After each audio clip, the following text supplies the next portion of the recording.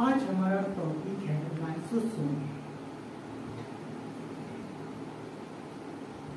Lysosome की खोज सन 1958 में किसने किया था किचन बी डुबे?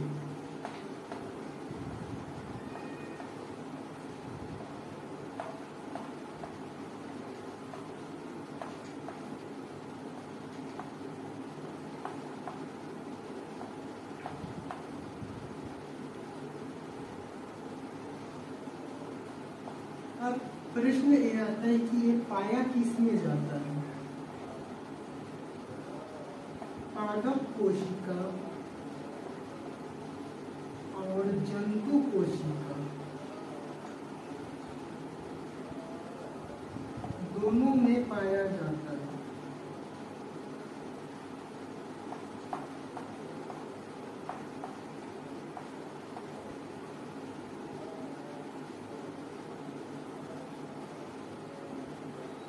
किंतु प्लांट सेल की अपेक्षा जंतु कोशिका में ज़्यादा पाया जाता है।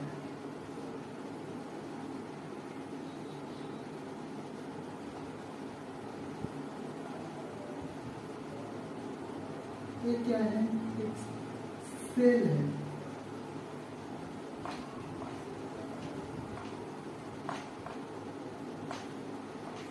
अब कोशिका के अंदर क्या होता है? केंद्रक होता है।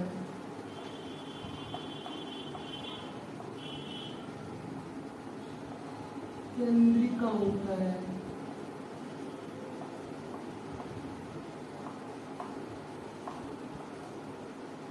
माइट्रोकांड्रिया होता है।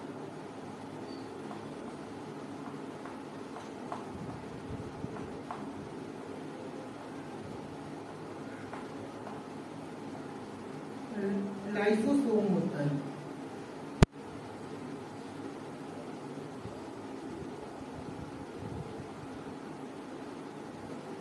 अब लाइसोसोम एक थैले जैसी आकृति या थैलेनुमा संरचना होता है, जिसके चारों तरफ़ एक झिल्ली पाई जाती है और जिसके अंदर विशिष्ट प्रकार की एंजाइम भरा होता है। जो कोशिका का पाचन करता है, इसलिए इसे हम पाचन एंजाइम भी कहते हैं।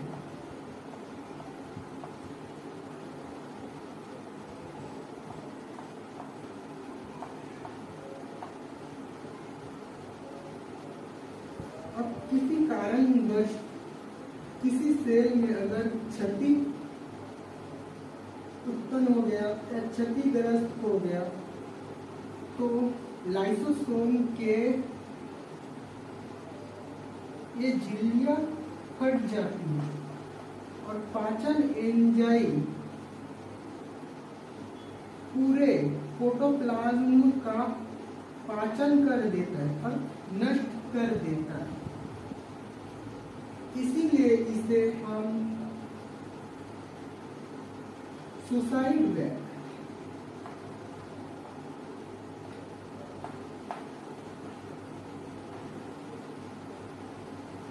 डट भी कहते हैं और सुसाइड बैग किस कोशिका अंग को कहा जाता है? लाइसोसोम को कहा जाता है।